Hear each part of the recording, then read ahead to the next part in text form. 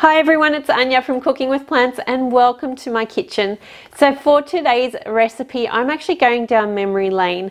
I actually grew up in Germany. All of my relatives, bar my parents and my son, are in Germany. And I love the pasta, the traditional pasta of the region that I come from. And that is spätzle. So today I am veganizing that recipe so I can relive the memories of eating this delicious pasta and it's so quick and easy to make as well so I hope you give it a try because nothing tastes better than homemade pasta. Let's get into the recipe. Cooking with plants, vegan made easy. So first up I've got a bowl and I've put one and a half cups of plain organic flour into this but you can use any flour of your choice. I've used a, an array of different flour types and they have all worked really well. Okay, so to this I am going to add two tablespoons of ground or finely ground cornmeal. I'm also adding one and a half tablespoons of tapioca flour so next I'm adding a mixture of coarse Celtic sea salt and Kala Namak. So Kala Namak is a pink coloured salt, not to be confused with Himalayan rock salt. It's totally different and it's sulfuric. It has a very egg-like smell and taste. So it'll add a bit of an eggy flavour to these noodles or to this pasta. So I've got about one teaspoon of the coarse Celtic sea salt and half a teaspoon of the Kala Namak going into this dry mixture. And then also I'm just going to add just a touch of turmeric just for colour really to make it look like the traditional egg based pasta that I'm making. So then give these dry ingredients a really good mix through.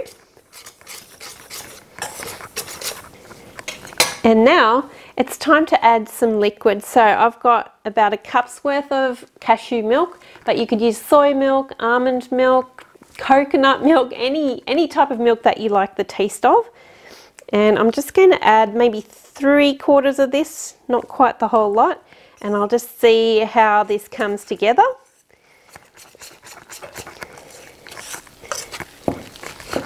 Now it's still a little bit dry, so I'll just add the rest of that liquid in.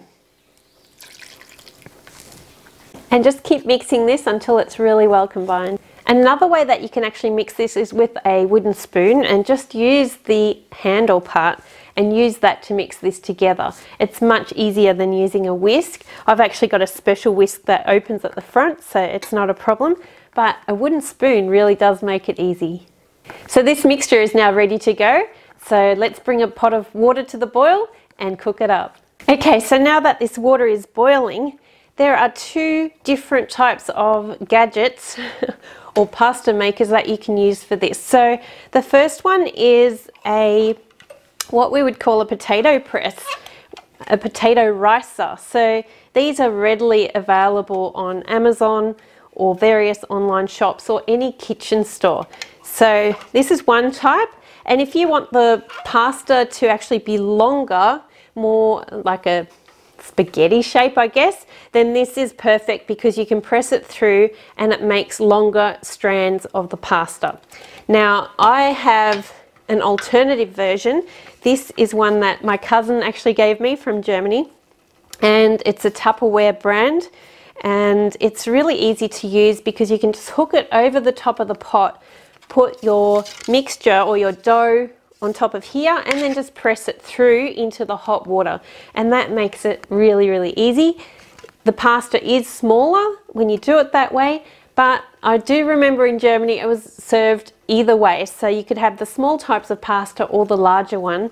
And I like it both ways but cooking wise it's really really easy with this. So let's get cooking. So just place this on top of your pot and then just get some of your mixture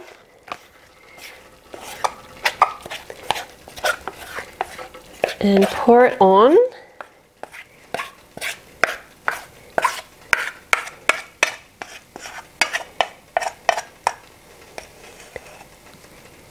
Okay, that's the whole lot in there actually. So I'm just going to start pressing this through.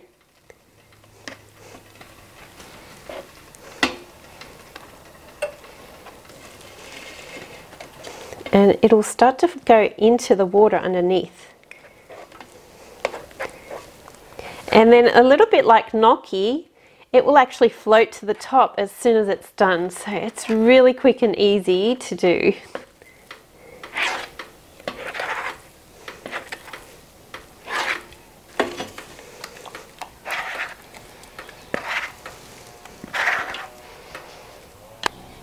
And then just scrape the last bits off the bottom of this and let it cook up. And then as soon as they're done, they'll float to the top as I mentioned, and it's just similar to gnocchi, but it's a pasta. So this is quick and easy to make.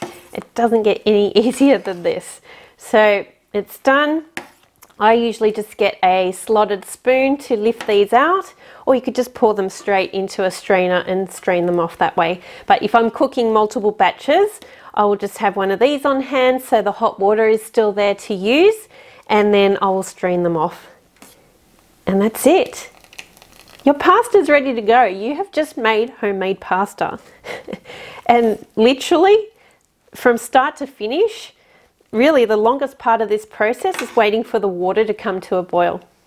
So there you have it, spätzle, but my vegan version of these, 100% plant-based, no eggs needed, and they taste absolutely delicious. So traditionally, this would be served with um, cheese baked over the top, which you could do. You could use some vegan cheese or one of my plant-based cheese sauces and bake that over the top. It tastes delicious.